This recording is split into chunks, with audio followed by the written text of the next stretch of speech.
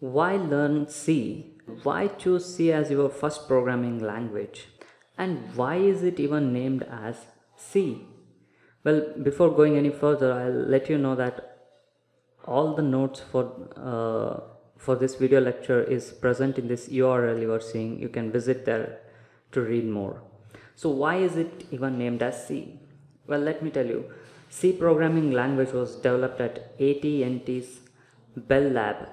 It was designed and developed by a man called Dennis Ritchie. Before designing C, there was a programming language called B. So Dennis Ritchie simply named it as C. Well, little did he know it will be so popular even after three decades. Beginners tend to get into arguments and discussions as to how C++, C hash, Java has improved upon C and how object-oriented programming has an advantage over C. But let me tell you, operating systems like Windows, Unix, Linux kernels, Android are all written in C. Even Oracle database, Git, etc. to name, to name some. I won't get into deep here. Get into these names deep here. Well, the object-oriented programming method present in C++, C hash and Java provides huge, huge advantage for programmers. But the basic programming elements like looping, variable declaration, logical and arithmetic operations, etc. are almost similar to what you see in C. So learning C definitely gives you an extra edge before jumping on to learning C++, C hash or Java.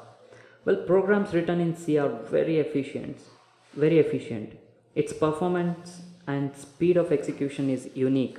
Even today, device drivers are also written in C to make sure the code is compact and has high performance.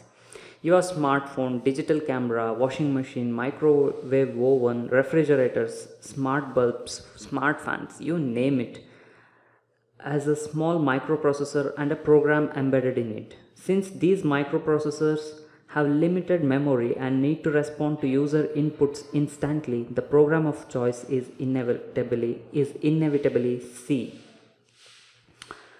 Also, most 3D gaming frameworks like DirectX are built using C programming language because for any game, user experience that is speed of execution is very important and C suits best for its because of its speed, reliability and performance. Well, for this reason, even uh, C is even used in animation special effects for movies.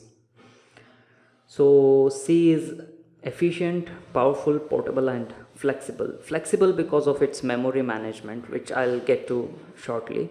Portable because you can take the same source code, compile and execute it to get the object code which works same in all machines. Do you know many compilers and interpreters for other languages like Fortran, Pascal, Perl, Python, etc. are written in C? Why? As I told you before, C is reliable, portable and fast. Well, using C we can directly access hardware. This is very powerful and I'll go through it in detail in coming videos. C enables you to manipulate individual bits of memory. So with power comes responsibility. So we need to handle memory carefully or else we may end up writing code which might behave abruptly. So this is why Java has its own built-in memory management called garbage collection. So this memory management itself is what I was talking about flexibility. Well, C implementation has very large library of useful functions like scanf, printf, printf, functions to write data to files, etc. And C is very easy to learn and understand if you pay attention, of course. So, if you if you did not understand anything out of this video, just don't worry. You are in the right place C is good to be the first programming language to learn. So go to this URL and continue with your next video lecture. Well, we'll do something here.